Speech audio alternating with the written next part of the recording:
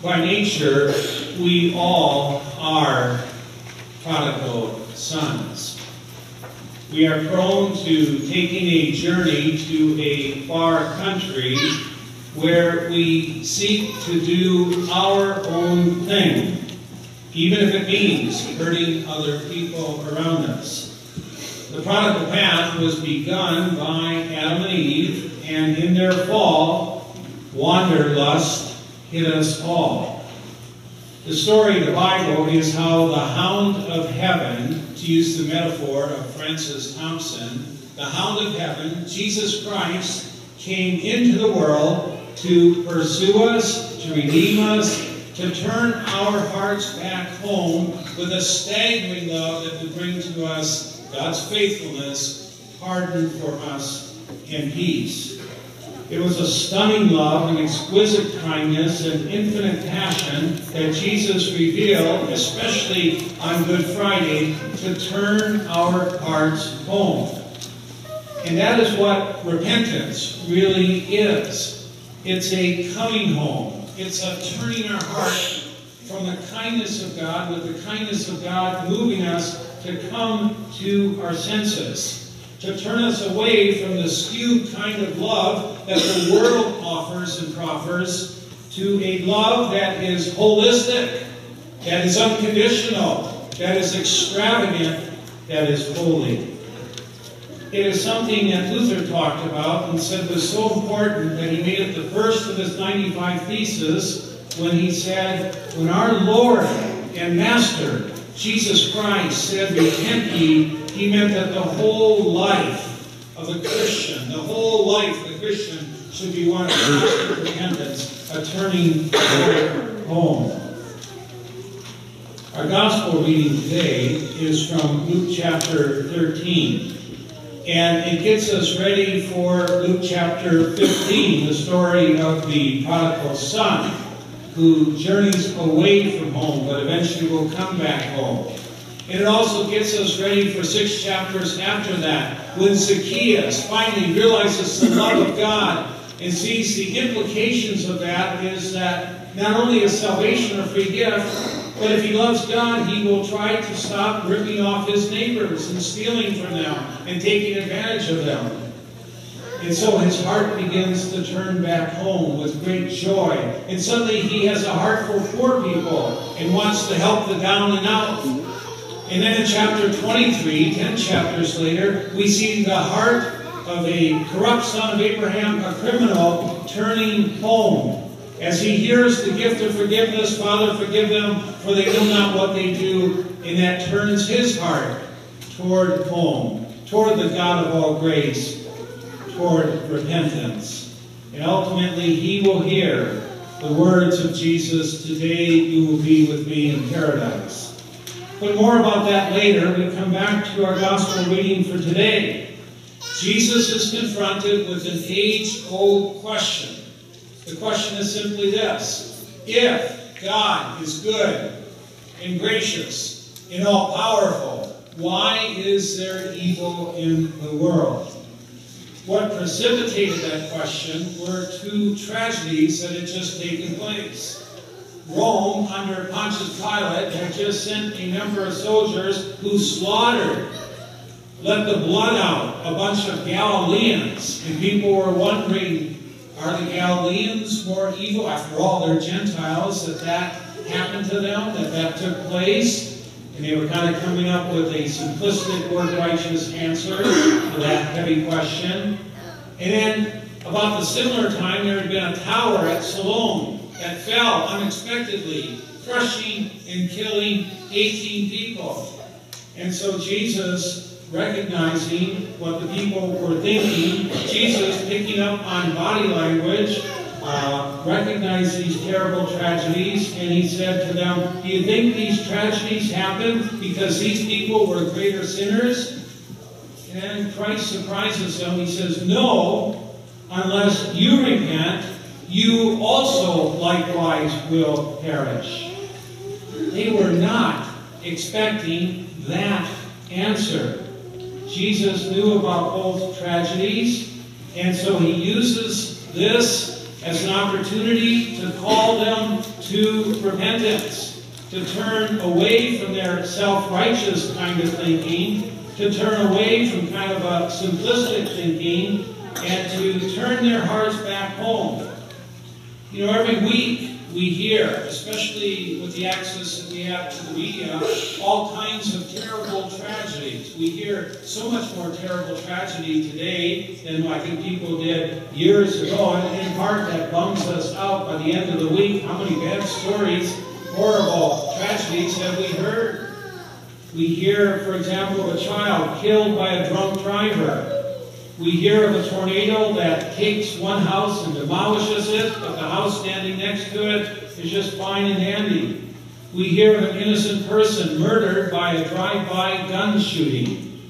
And then we hear of terrorists who molest and murder unto death little boys and girls. So we ask the question in our soul, why do these evil, evil things happen? In our text, we are waiting for Jesus to give us the answer. Uh, Job, by the way, confronted God with this same thing because of all the pain and all the suffering that took place in his life. I mentioned to my wife this week, we've had so many people and friends and others that have gone through painful emotional trials, painful physical trials, painful ordeals to the max, I said to Jan, I can't remember ever a week in my life where I've been praying for so many people going through so much deep kind of pain on so many kind of levels. And so we feel a little bit like Job. We want to talk to God and ask Him why He allows these things. And Job confronted God with this question in Job chapter 38. And Job is surprised the answer that he gets. Job asked God, why is he allowing the pain and evil to come into his life? And God turns around and he asks Job, you can count it, he asked Job 77 questions in response. Boom, boom, boom, boom, boom, boom, boom, boom. Job, where were you when I created the universe out of nothing? Uh, Job, can you explain this simple mystery of the universe to me? Job, I'd like you to give an answer to this question. And Job suddenly realizes that he's a little bit out of his league. He gets the point, and the point is this. If we are unable to answer even the simple elementary questions of the origin of the universe and the cosmology of this cosmos, how are we going to be able to answer these deeper questions related to suffering and evil and pain? Jesus jars the audience looking for a simple answer to the question of evil. And the Bible is so good here. The Bible is so careful here. He tells them that unless they repent, confess their sin, they could face something even more catastrophic. What he does is he takes them out of the abstract into the very personal. He calls them to change their way of thinking like the world, always this Pharisaism, always this self-righteousness, always this selfie, egotistic, narcissistic manifesto of one kind or another. And he calls them, turn your way back home to God, toward real love. And of course, later on, he's going to amplify this with the story of the prodigal son. You know the story well. The son was hearing the sirens of the world. Come, do your own thing. Come, be the measure of everything. Come and be your own God. And so the young man gets up and he tells his father, I want my inheritance. Drop dead old man. Give me my money. I want to do my own thing. And so the father, surprisingly, gives the young man his inheritance, and he goes off and he spends it, he wastes it, he doesn't give any thought to planning for the future, no goals. He aims at nothing and he hits the target, and suddenly he is broke, and he's a Jew. And he's a Jew in a Gentile territory, and he can't get a job anywhere, and the only job he can get is feeding pigs.